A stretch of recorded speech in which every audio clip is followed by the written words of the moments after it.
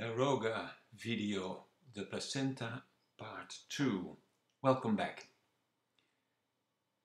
In the first part we discussed more the normal anatomy and normal physiology and the early development of the placenta and now we will focus on, in part 2, we will focus on the some variations in anatomy, pathology and we finish uh, with some conclusions. Variations in the anatomy. Here we have a placenta with a so-called succenturiate lobe. That means there is, here we see the umbilical cord, the main placenta, and there's a small island in front of the coast. That's the small lobe here. And in the membranes, here depicted as yellow, we see blood vessels.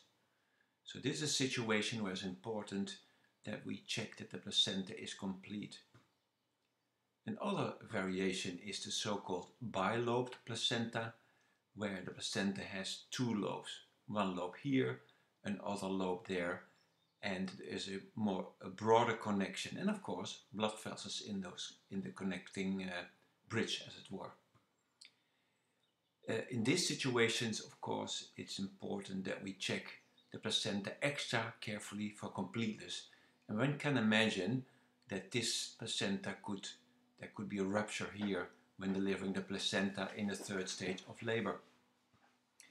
Here another variation and it's called, you can see, it's called, you see a, a, a wall here, um, that's why it's called a circumvallate placenta.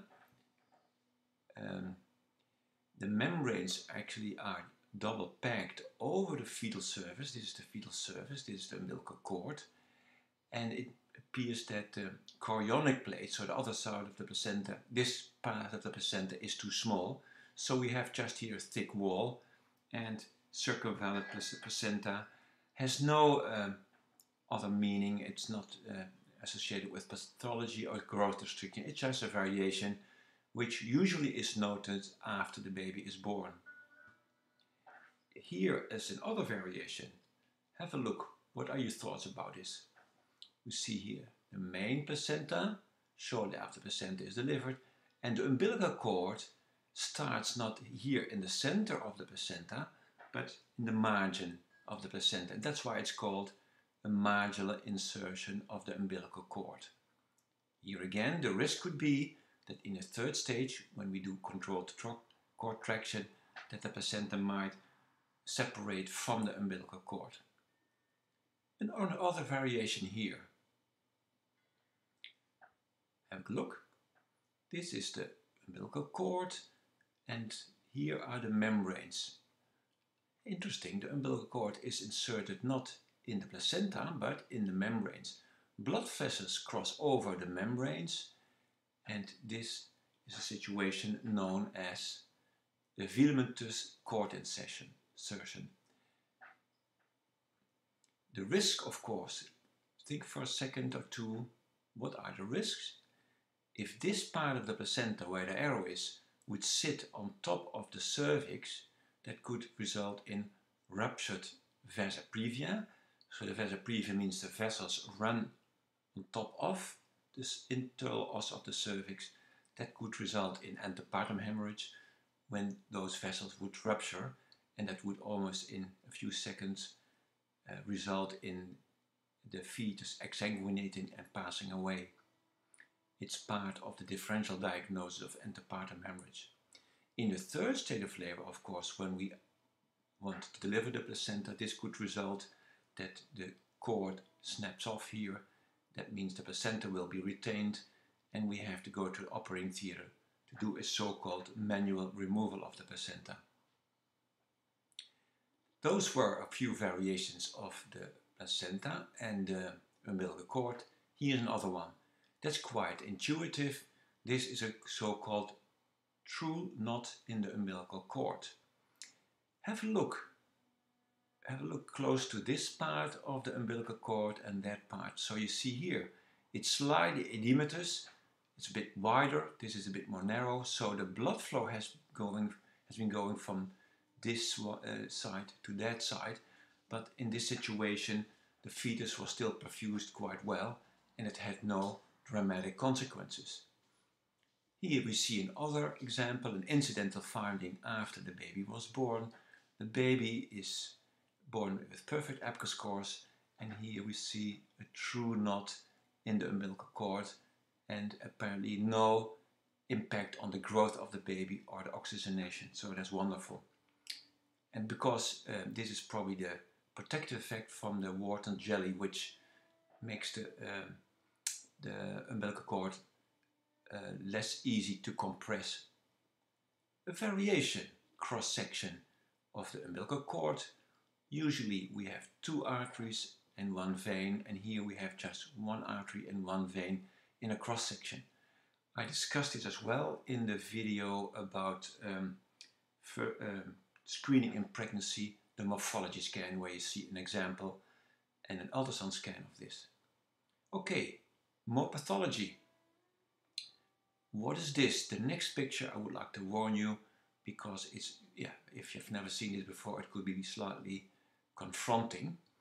We see here unfortunate and uh, a baby who passed away in the uterus, an intrauterine fetal death, and we see in the background the fetal part of the placenta and look what happened. The fairly short umbilical cord has actually wrapped tightly around the fetal neck and that unfortunately will have contributed to fetal demise. This is a so-called nuchal cord. Another variation, we look now at the maternal surface of the placenta and have a close look to the placenta and the umbilical cord. What is your take? Of course, you might have recognized the true knot in the, uh, in the uh, umbilical cord. And more importantly, look at the placenta.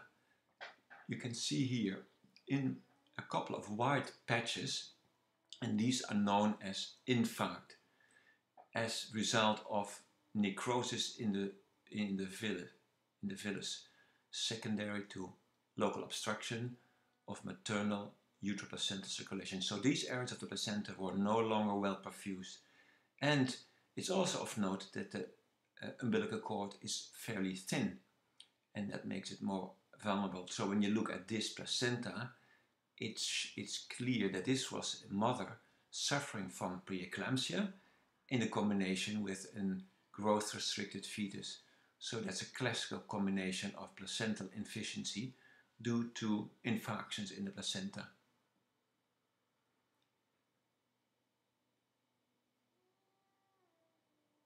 The next picture is a very torted umbilical cord which is associated with fetal death.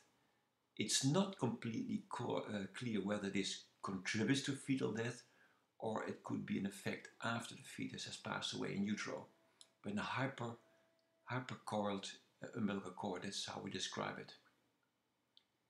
The next one, this is the placenta and you have to realize that the umbilical cord here has been removed, as were the membranes, but we're looking at the fetal uh, um, surface of the uh, placenta. And you can see a remarkably green stain. This is a meconium stained placenta uh, after, shortly after the baby uh, was born. So the baby um, showed decelerations during labor and uh, hence has produced meconium. This is another placenta. Now we look at the maternal surface of the placenta and you might have already acknowledged uh, seen here some infarct, some white areas, but what is this? Is what is this? This is the typical picture of a Rita retroplacental clot or hematoma. This is part of a partial abruption of the placenta and this placenta was delivered after the baby was born via an emergency uh, lower segment cesarean section. So, how would this patient have presented? Well, of course, antepartum hemorrhage with CTG abnormalities without, uh, and that necessitated a uh, crash, an cesarean section. The baby came out all right. And we have here now uh, followed a few more, uh, yeah, fairly curly placenta uh, pictures. We look here at the fetal surface of a placenta. Have a closer look and think twice. What are we looking at? This is a monozygotic twin with one chorion, so the placentas are shared by the two fetuses and also only one amniotic sac.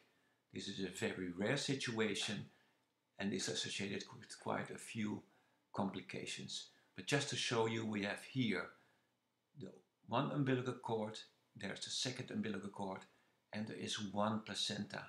Between these umbilical cords there is no dividing membrane, no amniotic sac.